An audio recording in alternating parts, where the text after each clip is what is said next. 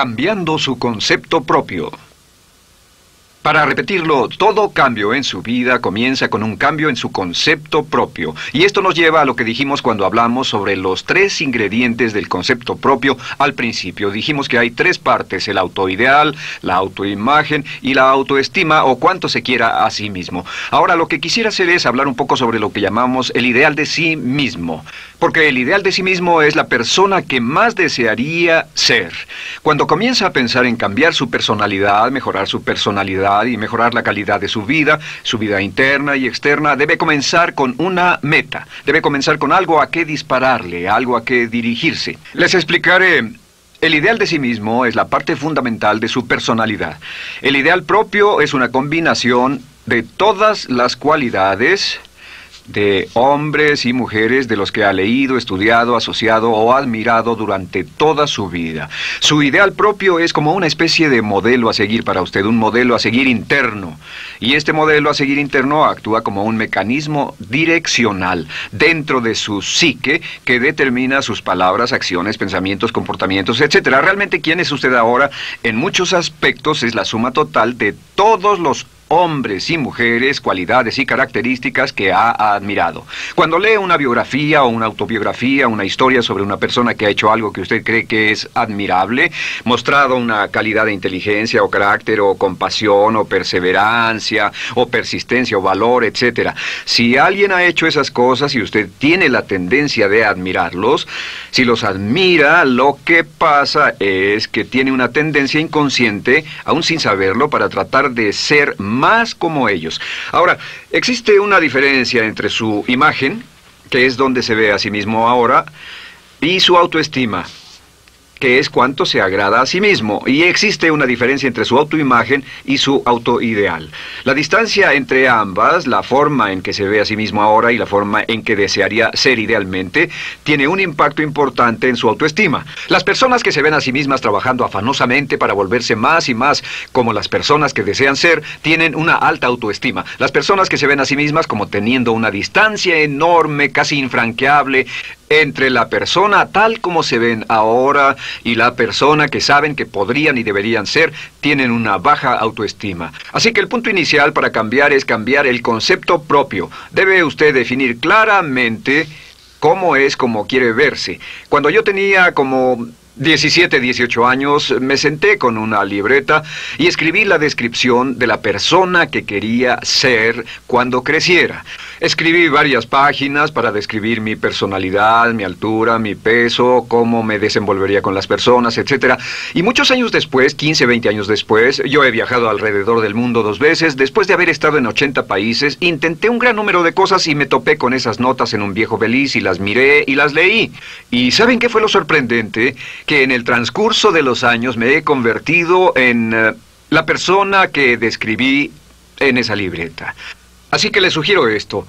Comience diciendo quién es y qué es lo que quiere ser en un año, tres años, cinco años a partir de ahora. O pongámoslo de otro modo, esta es una muy buena pregunta. Nombren a tres hombres o mujeres, vivos o muertos, que realmente admiren, que realmente piensen que son maravillosos, buenos, sobresalientes, modelos a seguir. Y después hágase la pregunta, ¿por qué razón los admiro? ¿Por qué le agradan? Eh, ¿Qué hay en esas personas? ¿Cuáles son las cualidades, por así decirlo, que considera notables? Porque esas son las cualidades que si puede identificar, entonces podrá encaminarse a tratar de lograrlas. Recuerde que dijimos que el deseo, la disciplina, la determinación y la decisión son las claves del éxito, pero también la definición. Debe definir claramente lo que quiere ser. Recuerdo un relato maravilloso de un joven que decidió que quería mejorar su vida y estaba trabajando en una compañía aseguradora y se sentó y miró a su alrededor y era el número 28, 29 de 30 personas en la compañía que vendían seguros y había estado ahí desde hacía varios años. Su carrera no iba a ninguna parte y comenzó a reflexionar sobre eso y dijo, bueno, ¿a quién admiro yo? ¿Como quién quiero ser? ¿Quién sería mi ideal? Y decidió que quería ser el mejor vendedor de la sucursal. Y entonces empezó a observar a los los dos mejores vendedores de su oficina y comenzó a pensar en ellos y en lo que hacían, habló con ellos y les pidió consejos.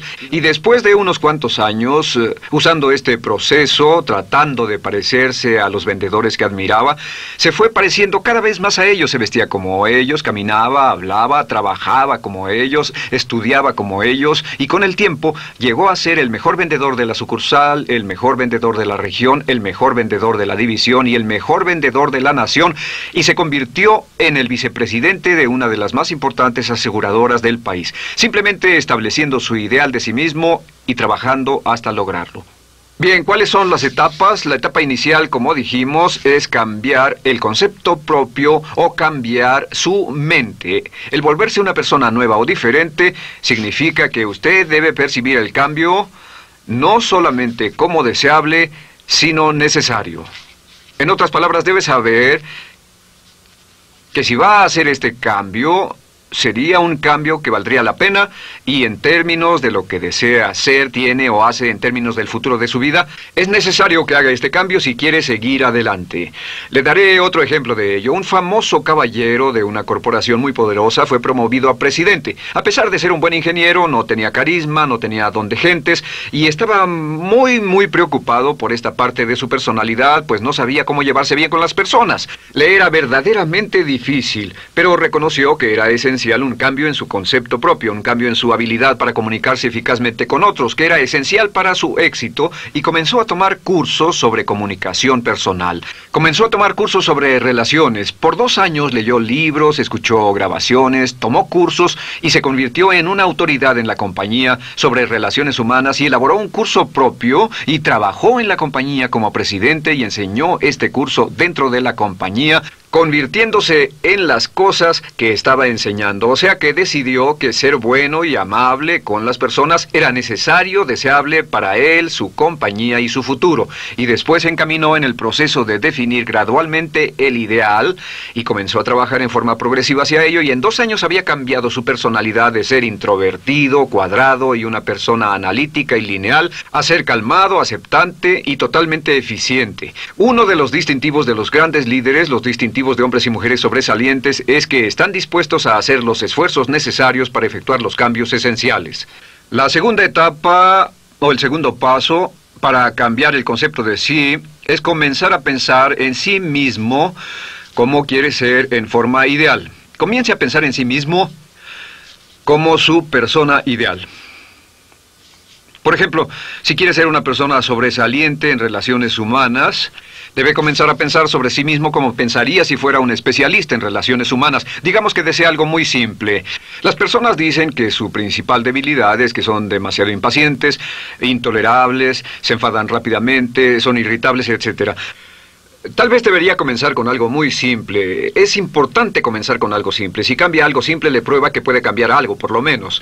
Así que comience a pensar sobre sí mismo. Digamos que tiende a ser un poco impaciente o de temperamento alterado. Cuando está cansado, se muestra irritable con sus hijos o su esposa al final del día. Comience a pensar en sí mismo como pensaría si fuera un cálido, paciente, amoroso, tolerante, amable ser humano. Piense en sí mismo en situaciones en las que normalmente se mostraría irritable y molesto y comience a pensar en sí mismo como relajado, positivo, alentador, que apoya sin problemas. Comience a pensar en sí mismo como el ideal. Piense ahora a quién conoce que tiene ese tipo de personalidad. Puede ser un personaje de la televisión, puede ser Bill Cosby si quiere, o puede ser alguien que admira en el deporte, puede ser alguien cuya biografía haya leído. Realmente no importa. Piense en cómo actuaría esa persona en tal situación. La gran tragedia de muchos jóvenes en las ciudades actualmente es que sus modelos, los modelos que tienen, no son modelos positivos a seguir. Las personas que tienen el mayor éxito a veces en los guetos y las ciudades no son personas admirables que estén trabajando duro, formando familias y negocios, sino delincuentes que se involucran en actividades criminales. Los modelos a seguir que usted escoja tienen un efecto crítico en quién va a convertirse, así que comience pensando sobre sí mismo cómo le gustaría ser ¿Cómo le gustaría ser ahora? Es el punto inicial. Porque debido a la ley de expresión, lo que está impreso se expresa. Si comienza a pensar sobre sí mismo, verá que es casi como virar el manubrio de su personalidad. Comenzará a convertirse en una persona diferente. Y el tercer paso, el tercero, es empezar a visualizar. ¿Qué significa visualizar? Existen miles de libros respecto a la visualización. La más poderosa de todas las habilidades humanas es la habilidad para crear imágenes mentales claras. Su subconsciente que es donde se lleva a cabo toda su programación, es activado por imágenes mentales combinadas con emoción.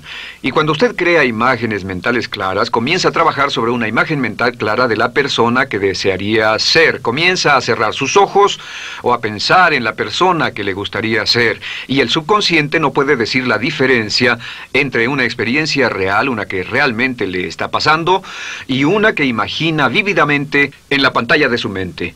Y este método de visualización crea una imagen mental clara. Y no olviden que ya hablamos de la ley de la práctica, que es la ley de la repetición. Debe usted practicarla una y otra vez. Imagine, por ejemplo, que quería convertirse en un orador público muy bueno. Eh, es muy simple. Aquí está, aquí está usted. Aquí están sus ojos, aquí está su mente consciente y aquí su mente inconsciente. Usted quiere convertirse en un buen orador público. Si saliera y diera toda una serie de pláticas y obtuviera respuestas positivas y las personas le dijeran que eran buenas pláticas e hiciera esto una y otra vez, sin importar cuán aterrado estuviera de hablar en público, si lo hiciera muy a menudo, gradualmente almacenaría recuerdos hasta el punto en que ya no sentiría ninguna incomodidad de hablar en público. La razón por la que menciono hablar en público es que alrededor del 54 del público americano preferiría morir que hablar en público. Anteponen el temor de hablar en público al temor de la muerte. Es uno de los mayores temores en nuestra sociedad. Sin embargo, ningún niño nace...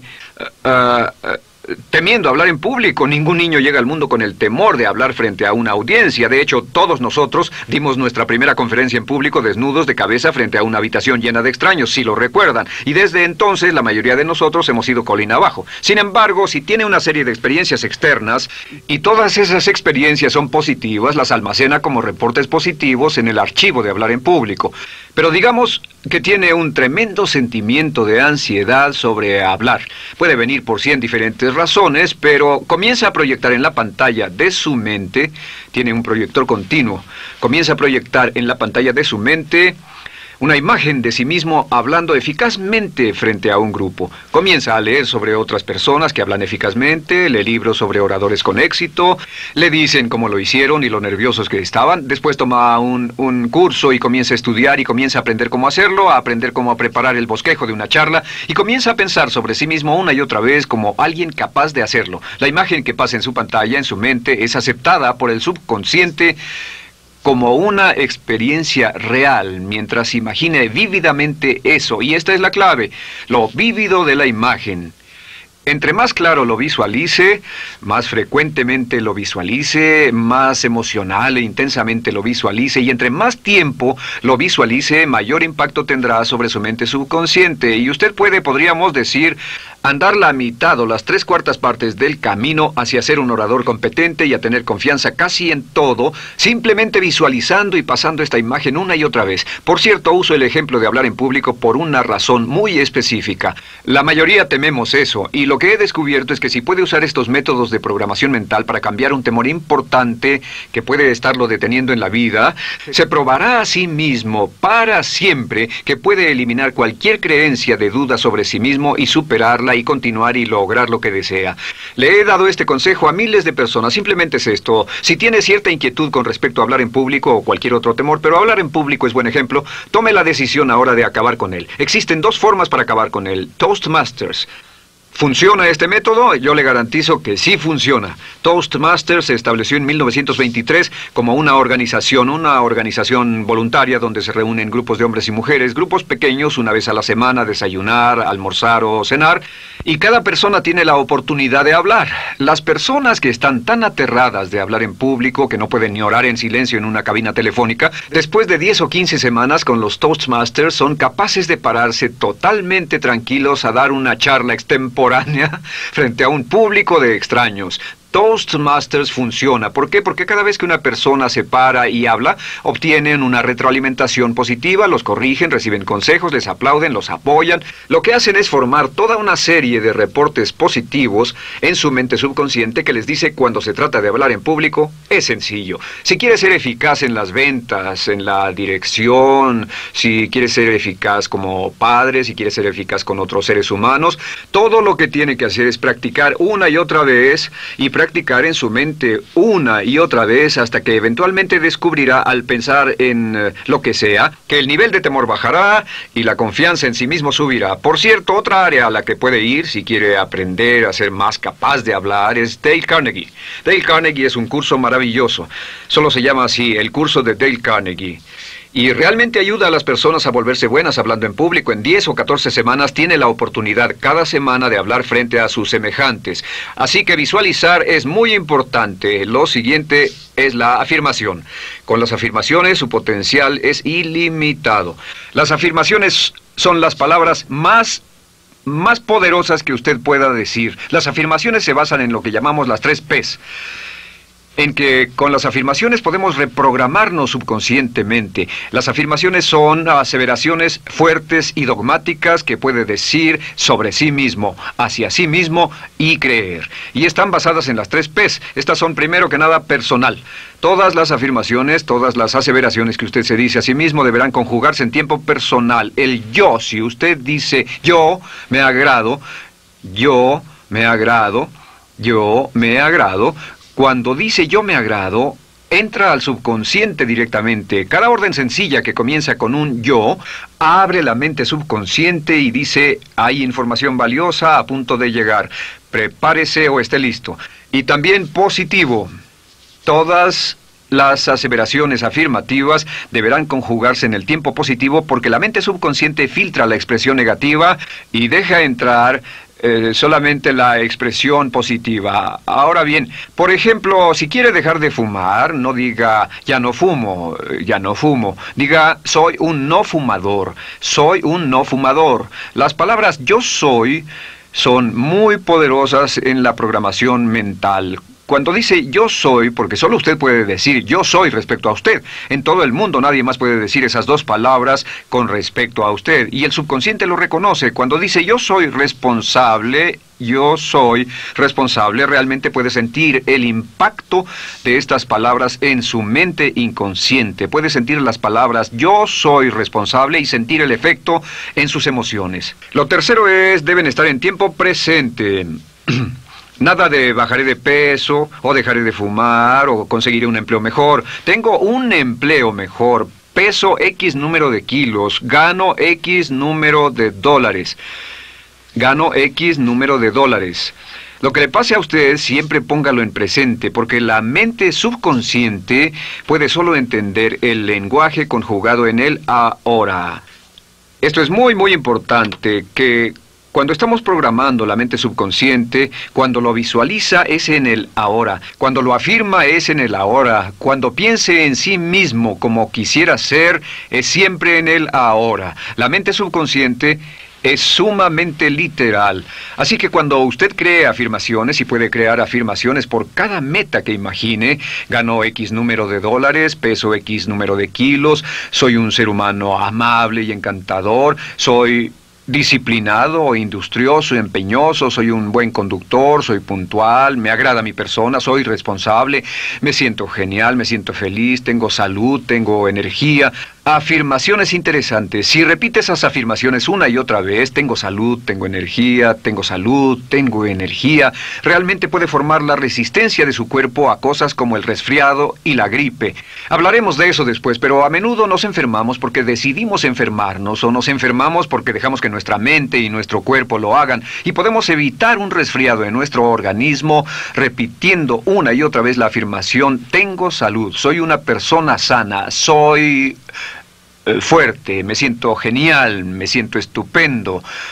Así que confirme sus afirmaciones y sus visualizaciones y cuando cierre los ojos, véase a sí mismo como si tuviera la característica o la cualidad ahora. Háblese en términos como si tuviera la característica o la cualidad ahora. Como ya dijimos con respecto a la emoción, imagine el sentimiento que acompañaría a la práctica mental. Imagina el sentimiento que acompañaría a la palabra. Cuando dice me agrada mi persona, no dice me agrada mi persona. Dice me agrada mi persona, me agrada mi persona, me agrada mi persona. Imagine cuando dice soy responsable, no dice soy responsable, dice soy responsable, soy responsable. En otras palabras, emociónelo, envuélvalo con emoción, llévelo a la mente subconsciente como un detonador y el efecto que tendrá sobre su personalidad y sobre su sentimiento será tremendo.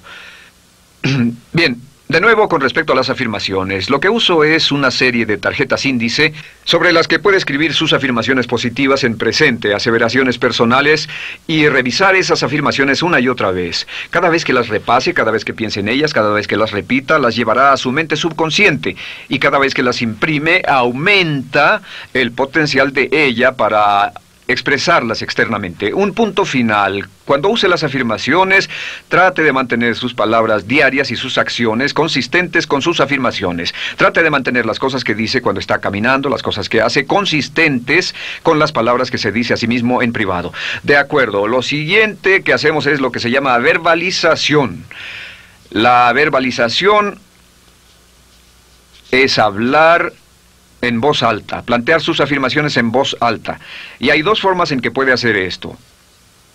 Es mejor hacerlo en privado, pero básicamente aumenta el impacto eh, de una afirmación en casi un 80% o más cuando lo dice en voz alta. No se diga a sí mismo, me agrada mi persona, mejor dígase, me agrada mi persona, o me siento magnífico, me siento muy bien, o soy responsable, o gano 50 mil dólares al año. Cuando yo me enteré de este proceso, mi meta era ganar 50 mil dólares al año, y me di cuenta de que la única forma de poder ganar 50 mil dólares al año era repitiéndolo una y otra vez, y lo sorprendente es que cuando comencé a hacerlo no ganaba ni remotamente 50 mil dólares al año y estaba muy, muy escéptico. No creí que funcionara, solo puedo decirles desde el fondo de mi corazón que sí funciona, así que verbalícelo. Y si se para frente a un espejo, si lo verbaliza, frente a un espejo tiene dos impactos trabajando simultáneamente. Tiene el impacto de lo que puede ver, más lo que está diciendo, más si le pone emoción a lo que está diciendo. Tiene tres puntos de acceso para reprogramar el subconsciente trabajando en forma simultánea. Así que párese frente a un espejo y diga frente a ese espejo, me siento magnífico, me veo genial, me veo genial, o diga, te ves genial cuando hable con usted frente a un espejo. No querrá hacer esto en un baño público con personas a su alrededor porque pueden pensar que está usted loco. Pero sin embargo, la verbalización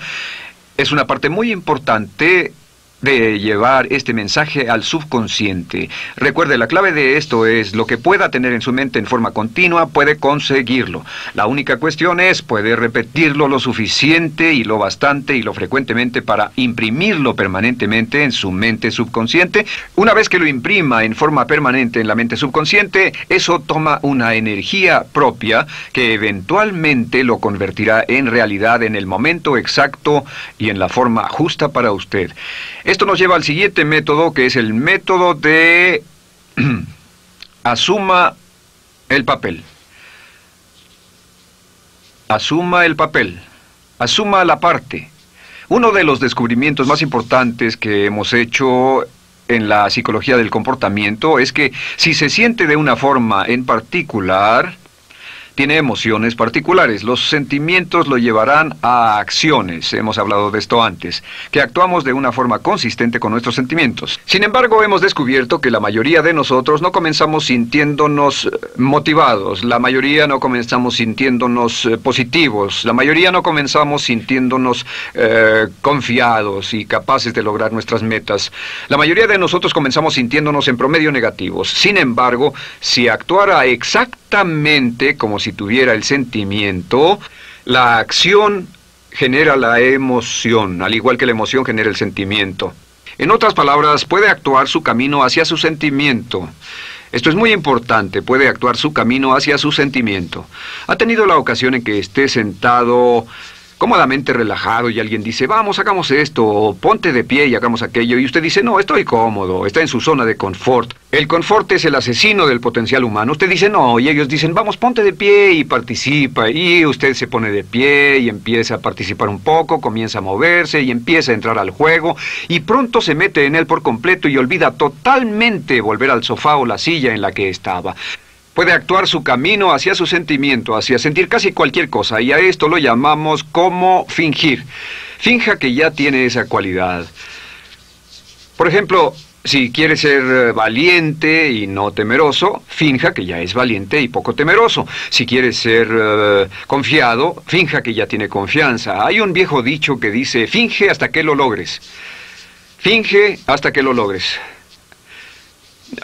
No olviden que hablamos del caballero a quien le dijeron que era la reencarnación de Napoleón y que todo lo que tenía que hacer era actuar como Napoleón y se daría cuenta de que tenía una historia cultural detrás de él, que tenía la determinación, el poder, el valor, el genio, la inteligencia, la tenacidad, la visión de uno de los más grandes líderes, pues este actuar, este fingir, este asumir el papel, es importante para convertirse en esa persona. Si quiere ser el mejor vendedor de su organización, eh, si quiere ser un ejecutivo soberbio, si quiere ser un técnico excelente, si quiere ser un profesional médico excelente, si quiere ser la mejor madre o el mejor padre, si quiere ser excelente en atletismo, existe todo un cuerpo de trabajo actualmente en la programación de la lingüística moral y lo que se llama el juego interno de ganar.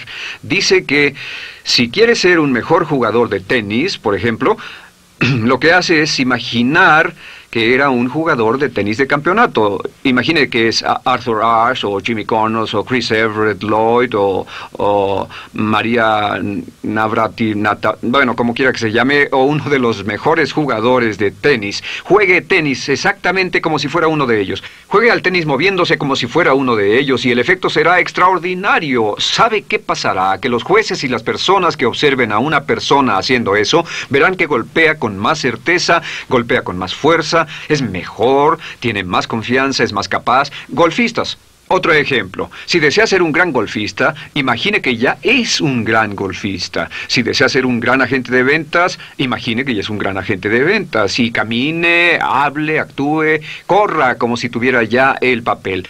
Vístase como en el papel, mírese en el espejo y diga, tengo el papel de ese gran golfista, tengo el papel del ejecutivo, el vendedor o la vendedora, o sea lo que sea que deseo ser. Estas cuatro las llamamos las VAVA. V-A, V-A, V-A, V-A. No, debo hacerlo en esta forma. V-A, V-A.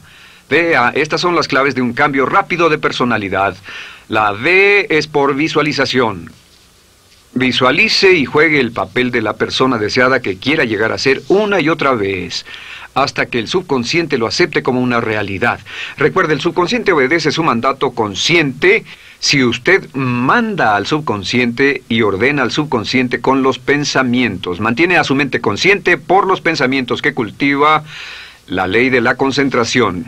Si sostiene ese pensamiento en su mente continuamente, eventualmente encajará en el subconsciente y cobrará una energía propia. Lo segundo es afirmar. Afirme una y otra vez. Hay muchas personas que dicen que preferirían dejar de desayunar que dejar su afirmación cada mañana. Hable consigo mismo en forma positiva, use charlas autopositivas todo el tiempo. Puede hablar consigo mismo a un promedio de 1500 palabras por minuto. La mayoría habla consigo mismo en términos de duda, temor, preocupación, ansiedad. Hable consigo mismo en forma positiva. Puedo hacerlo, puedo hacerlo, puedo hacerlo. Solo repita, puedo hacerlo, puedo hacerlo una y otra vez. Incremente la confianza en sí mismo, su autoestima. Cuando no tenga nada más que hacer, diga, me quiero a mí mismo, me quiero a mí mismo, me quiero a mí mismo, porque mientras repita me quiero a mí mismo, incrementa su habilidad y su capacidad en todas las áreas de su vida. Y también verbalice.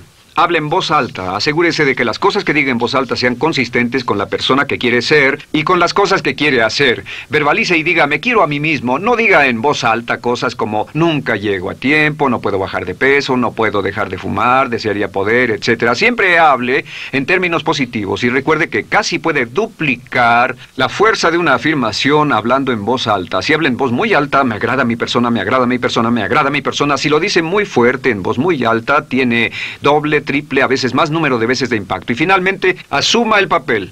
Imagine que lo han contratado para actuar el papel, que lo han contratado para actuar el papel de una persona en extremo exitosa en una obra en Broadway. Y en este papel lo que va a hacer es, va a caminar, hablar y actuar como si fuera un éxito, como si fuera un modelo a seguir, como si fuera la imagen ideal de la persona perfecta que quiere llegar a ser. Y si camina, habla, finge, visualiza, lo piensa y lo afirma una y otra vez, en esa persona es en la que se va a convertir, tan inevitablemente como que el sol sale por el este y se pone por el oeste. Y en la siguiente sesión les hablaré más sobre cómo incorporar estos atributos de personalidad en su carácter. Usted llegará a ser tan pequeño como su deseo de control, tan grande como su aspiración dominante. James Allen.